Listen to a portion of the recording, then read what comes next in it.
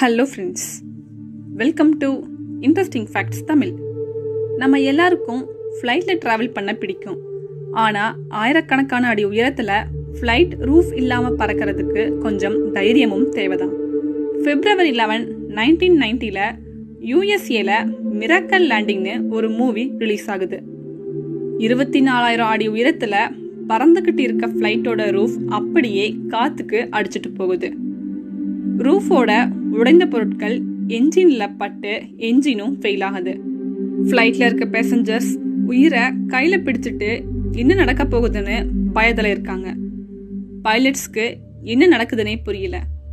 இது வெறும் படம் தான். ஆனா இந்த நிகழ்ச்சி உண்மையிலேயே நடந்துச்சுன்னு சொன்னா உங்களால நம்ப முடியுதா? அந்த ஃப்ளைட்ல இருந்த பேசஞ்சர்ஸ் என்ன ஆனாங்க? பைலட்ஸ் ஃப்ளைட்டை லேண்ட் பண்ணாரா? அந்த ரூஃப் இல்லாத ஃப்ளைட்டில் அவங்க எப்படி பயணம் செஞ்சுருப்பாங்க? இதை பற்றி தான் இந்த வீடியோவில் நாம் பார்க்க போகிறோம் நம்ம சேனலில் சுவாரஸ்யமான உண்மைகளையும் அன்சால்வ்டு மிஸ்ட்ரிகளையும் சால்வ்டு மிஸ்ட்ரிகளையும் பார்த்துக்கிட்டு வரோம்.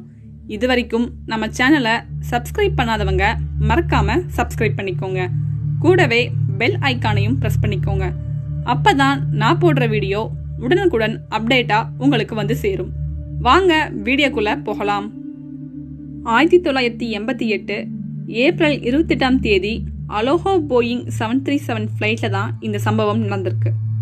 ஹிலோ இன்டர்நேஷ்னல் ஏர்போர்ட்டில் ஒரு வழக்கமான நாளாக தான் அது இருந்திருக்கு. அங்கே இருக்க சின்ன சின்ன தீவுகளுக்கு பயணம் செய்வதற்காகத்தான் இந்த Aloha Boeing seven three seven பயன்படுத்தப்படுது. Already three times அதோட ட்ரிப்பை முடிச்சிட்டு தான் ஃப்ளைட் கிளம்புது. ஹாப்பியில் இருந்து ஹோனாலுலுக்கு போறதுக்காக விமானமும் தயாராகுது. இந்த ஹோனோலுலு ஐலாண்டில் இருக்க ஏர்போர்ட்டுக்கும் மக்களுக்கும் நம்ம ஊரில் பஸ்ஸில் ட்ராவல் பண்ணுற மாதிரி அவங்களுக்கு ஃப்ளைட்டில் ட்ராவல் பண்ணுறது ஒரு சாதாரண விஷயந்தான் அந்த ஃப்ளைட்டோட கேப்டனான நாற்பத்தி நாலு வயது ராபர்ட் ரொம்பவும் எக்ஸ்பீரியன்ஸான பைலட் இந்த போயிங் செவன் த்ரீ செவன் ஃப்ளைட்டில் six thousand seven hundred flight hours experience அவருக்கு இருக்குது கோ பைலட்டான முப்பத்தாறு வயது டாம்கின் இதே போயிங் செவன் த்ரீ செவன் ஃப்ளைட்டில் மூவாயிரத்தி அறநூறு ஃப்ளைட் ஹவர்ஸ் எக்ஸ்பீரியன்ஸ் வச்சுருக்காங்க. ஸோ இந்த ரெண்டு பேருமே நல்லா எக்ஸ்பீரியன்ஸ்டான பைலட்ஸ் தான். அன்னைக்கு மார்னிங் ஃப்ளைட் டேக் ஆஃப் பண்ணுறதுக்காக செக் பண்ணுறாங்க அதில் ஃப்ளைட்டில் எந்த கோளாறும் இல்லை. டேக் ஆஃப் பண்ணுறதுக்கு ரெடின்னு ரிப்போர்ட்ஸும் கொடுக்கப்படுது. இப்போ ஃப்ளைட் ஹோனோலுலுல இருந்து ஹிலோக்கு போய் தரையிறங்குது. தன்னோட அடுத்த ட்ரிப்புக்கும் தயாராகுது. பைலட் அவரோட கார்பிட்ல இருந்து வெளியே வரவே இல்லை. எப்பவுமே ஒரு ட்ரிப் முடிஞ்சதும் ஃப்ளைட்டை இன்ஸ்பெக்ட் பண்ணணும் அப்படிங்கிறது ரூல் ஆனால் இந்த பைலட்ஸ் அப்படி பண்ணவே இல்லை. இப்போது எண்பத்தொம்போது passengers two pilots four crew மெம்பர்ஸோட flight take off ஆகுது. அன்னைக்கு எண்பத்தொம்போது பேசஞ்சர்ஸை கவனிக்க கிளாராங்கிற அட்டண்டன்ட் இருக்காங்க.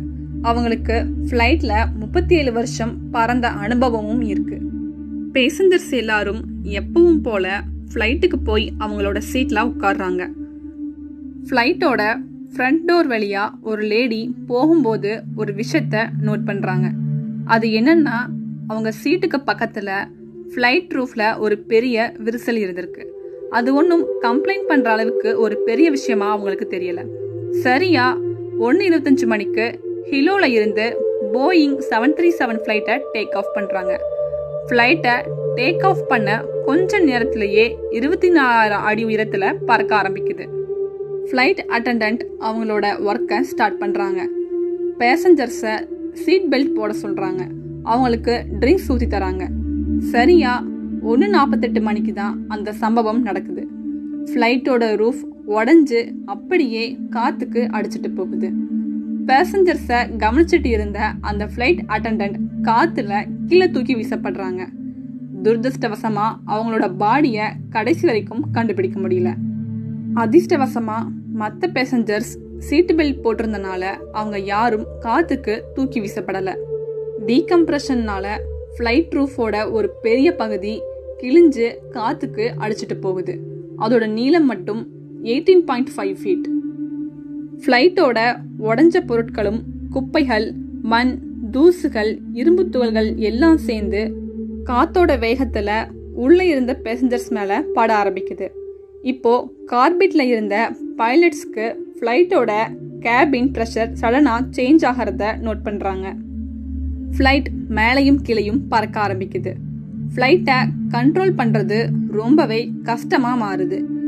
என்னடா நடக்குதுன்னு பின்னாடி திரும்பி பார்க்குறாங்க அங்கே அவங்களுக்கு பக்கத்தில் இருந்த டோரும் அங்கே இல்லை. ஃப்ளைட்டோட ரூஃபும் இல்லை. அப்போ அவங்க பார்த்தது வெறும் ப்ளூ ஸ்கை மட்டும்தான். உடனடியாக ஆக்சிஜன் மாஸ்கை ரிலீஸ் பண்ணுறாங்க எல்லாரும் ஆக்சிஜன் மாஸ்கையும் போட்டுக்கிறாங்க. ஆனால் ஃப்ளைட்டை அவங்க நினச்ச மாதிரி கண்ட்ரோல் பண்ண முடியலை. அது ரொம்பவே கஷ்டமாக மாற ஆரம்பிக்குது. ஃப்ளைட்டுக்கு உள்ளே இருந்த ஃப்ளைட் அட்டண்டர்ஸ் அப்படியே கீழே படுத்துக்கிறாங்க அதில் ஒருத்தங்களுக்கு தலையில் ரொம்ப பலமாக அடியும் படுது. உடனடியாக பைலட் பக்கத்தில் இருந்த மோயி ஏர்போர்ட்டுக்கு எமர்ஜென்சி சிக்னல் அனுப்புகிறாரு ஆனால் அந்த எமர்ஜென்சி சிக்னல் ஏர் டிராஃபிக் கண்ட்ரோலுக்கு போய் ரீச் ஆகவே இல்லை. ஏன்னா இந்த ஃப்ளைட்டில் இருந்து சிக்னல் வெளியே போகவே இல்லை. ஃப்ளைட்டில் இருந்த பேசஞ்சர்ஸ் எல்லாரும் ஃப்ளைட் கண்டிப்பாக கீழே விழுந்து நொறுங்கத்தான் போகுதுன்னு நினச்சிட்டு இருந்தாங்க. இதெல்லாம் பத்தாதுன்னு உடஞ்சு போன துகள்கள் ரெண்டு என்ஜின்லையுமே போய்படுது. அதில் ஒரு என்ஜின் ஃபெயிலும் ஆகுது. இன்ஜினை ரீஸ்டார்ட் பண்ணுறாரு அது ஃபெயில் ஆகுது. இப்போ ஒரு இன்ஜினோட பவர் தான் இருக்கு. அதில் தான் ஃப்ளைட்டை லேண்டும் பண்ணணும். ஆனால் ஃப்ளைட் இன்னுமே கரெக்டான கண்ட்ரோலுக்கும் வரல. பைலட் மறுபடியும் எமர்ஜென்சி சிக்னல் அனுப்ப ட்ரை பண்ணுறாரு ஆனால் கண்ட்ரோல் டவரில் இருந்தவங்களுக்கு அது கரெக்டாக கேட்கல ஃப்ளைட் இப்படியே பத்தாயிரம் அடி உயரத்துக்கு வருது.